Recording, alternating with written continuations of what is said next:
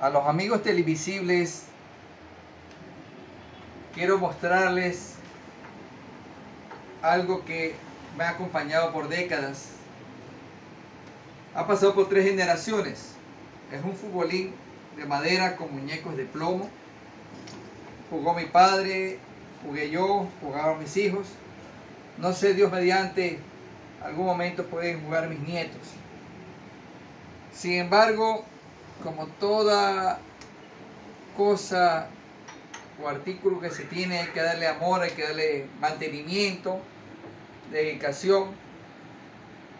Fue hecho con madera noble de Guayacán, Fernán Sánchez, algo de Laurel. Este futbolín trajo muchas alegrías a mis grupos, a mis bodies que han venido aquí a la trinchera de mis comandos.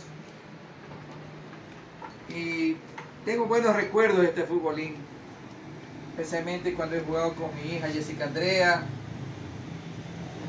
que es la mayor, con, José Adrián, que es el primogénito varón, y también con el Benjamín de la familia, que es Carlos Antonio. Quiero dejar esto como una nota histórica de que uno no puede estar solo en este mundo, que el juego se hace en equipo, de que con la venia de Dios todo se puede, que la unión hace la fuerza, y más que todo también darle una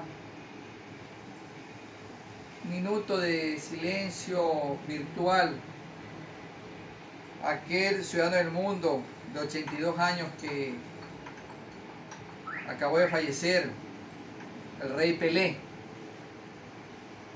porque él movió masas, él con su manera de ser como ciudadano del mundo, como, como deportista, como hombre, fue un ejemplo para todas las generaciones que lo vieron crecer y desarrollarse dentro del fútbol.